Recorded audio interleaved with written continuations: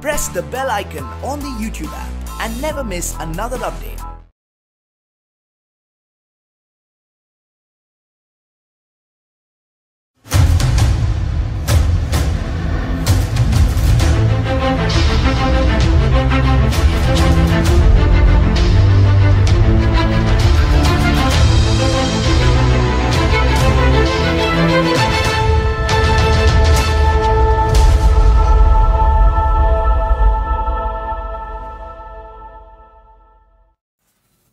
নমস্কার বন্ধুরা spiritual bulletin stories চ্যানেলের সকল শ্রোতা, দর্শক, বন্ধু ও সদস্যকে জানাই সাদর সুস্বাগতম।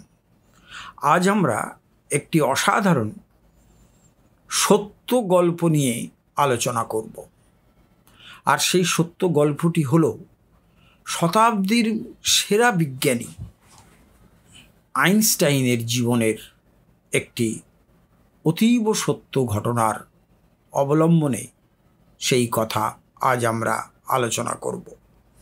একটি ধর্মীয় প্রবাদ বাক্য রয়েছে, সৎসঙ্গে স্বর্গবাস, অসৎসঙ্গে সর্বনাশ মানুষ যদি সৎসঙ্গ করে, তাহলে তার মধ্যে কি পরিবর্তন আসে? আবার মানুষ যদি অসৎসঙ্গ করে, তার মধ্যে কি পরিবর্তন আসে? যেমন একজন মানুষ যদি সাধু সঙ্গ করে, সৎ ব্যক্তির সঙ্গ করে, তাহলে তার মধ্যে সততা জাগে, মায়া জাগে, হিংস্রতা দূর হয়ে যায়।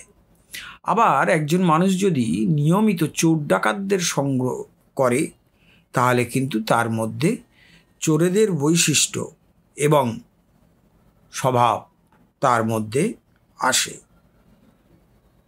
এই হলো সৎসঙ্গ ও অসৎসঙ্গ মেশার দু ধরনের ফল। কিন্তু হঠাৎ আমরা আইনস্টাইনের কথা আলোচনা করতে চলেছি কেন? এই যে সৎসঙ্গে স্বর্গবাস আর অসৎসঙ্গে সর্বনাশ, এর প্রত্যক্ষ প্রমাণ আমরা পেয়েছিলাম আইনস্টাইনের জীবনে। তাহলে চলুন সেই সত্য কাহিনীটি একবার শুনে নিই।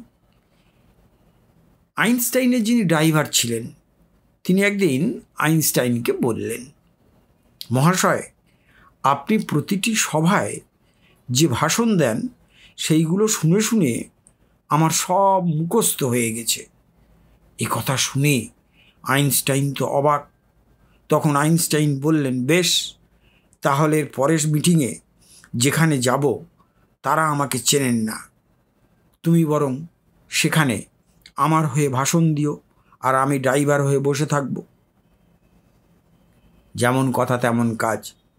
এরপরে সেই সভায় তো ড্রাইভার, হুবহু আইনস্টাইনের ভাষণ গড়গড় করে বলে গেলেন। উপস্থিত শ্রোতারা, দর্শকরা সবাই তুমুল করতালি দিলেন। এরপর তারা ড্রাইভারকে আইনস্টাইন ভেবে গাড়িতে পৌঁছে দিতে এলেন।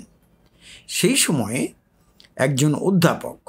ড্রাইভারকে জিজ্ঞেস করলেন, স্যার, ওই আপেক্ষিকের যে সংজ্ঞাটা আপনি বললেন আর একবার যদি সংক্ষেপে বুঝিয়ে দেন? তখন আসল আইনস্টাইন দেখলেন, এ তো মহাবিপদ এবার তো ড্রাইভারটা ধরা পড়ে যাবে। কিন্তু কিন্তু তিনি ড্রাইভারের উত্তর শুনে তাজ্জব হয়ে গেলেন। আইনস্টাইনের ড্রাইভার তখন উত্তর দিলেন, এই সহজ জিনিসটা আপনার মাথায় ঢুকছে না? আরে আমি আর কি বলব?